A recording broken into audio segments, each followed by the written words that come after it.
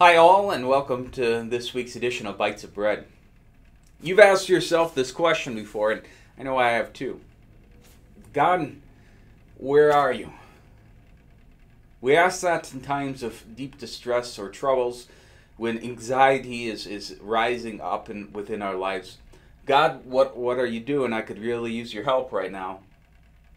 The thing is, if we, we look out there, we look at the creation, we look to the skies, or you look within, what are you going to find about God?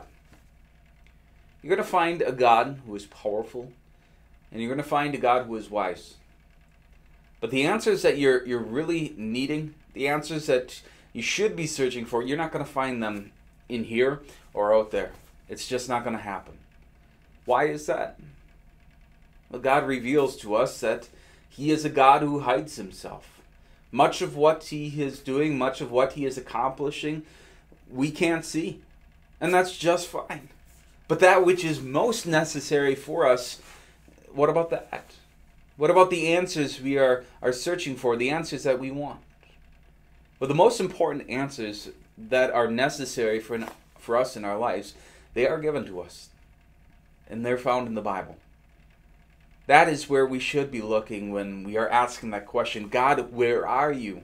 Because He reveals what kind of God He's like.